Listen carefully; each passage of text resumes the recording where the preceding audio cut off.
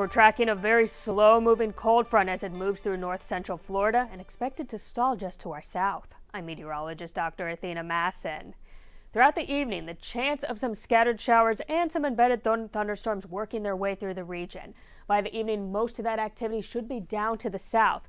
Still, the chance of some remnant showers working their way through Alachua and Marion counties will get a little bit of a break for the overnight, though. Most of the region beginning to dry out.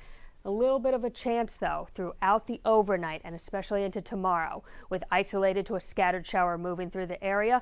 Skies, though, remaining overcast and our temperatures pretty mild, only lowering down into those low to mid 60s. By the afternoon on Friday, that cold front should be stalled just to our south, so we are on the back side of it.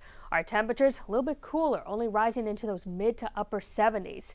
78 for your high about in Gainesville down towards Micanopy. In Marion County, much closer to that front. Some locations could even get up to 80 degrees. 80 in Ocala, 81 in Belleview, 82 in the villages. For the rest of the weekend and even into early next week, this wet pattern remains in place.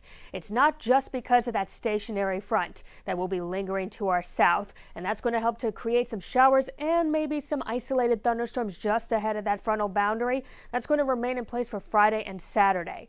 Rain chances, though, really start to pick up on Saturday night and especially into Sunday as a low pressure system approaches from the Gulf of Mexico. That's going to be increasing. Our showers and thunderstorms could be widespread at time, and that wet pattern continues to remain in place for the new work week. Look at that on your six day outlook. Each day we do have a chance of rain. Substantial increase by Sunday as that low pressure system moves ashore. Temperatures mainly staying in the 70s.